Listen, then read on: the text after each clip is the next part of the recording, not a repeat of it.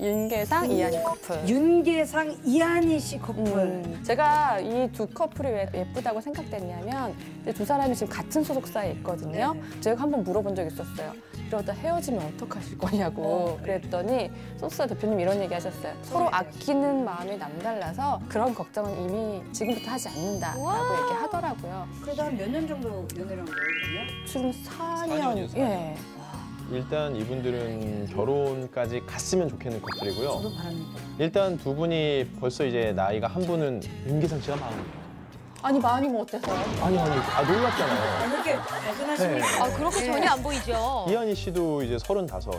이미 정년기는 지났거든요. 이한희 씨가 서른 몇이죠? 서른다섯이죠. 저랑 동갑인데요? 아니 누구의 잘못이죠? 아니요 아니요 김신영 씨가 훨씬 더 어린 느낌이에요. 근데. 아 그래요? 네 맞아요. 그럼 훨씬 발육이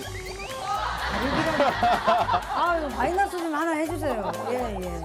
그리고 이한희 씨가 말씀하시면 성격이 진짜 털털하고 좋아요. 이한희 씨 성격 좋다는 얘기 존나 많이 듣고요. 맞아요. 그리고 유명하죠. 이한희 씨로 인해서 윤계상 씨가 더 좀 유해졌다라는 생각이 맞아요 들어요. 맞아요. 아 그게 팩트인가요? 네, 왜냐하면 이 G.O.D 콘서트도 윤계상 씨가 좀 많이 망설이고 있었을 때이 네네. 그를 설득한 게 이한희 씨였어요.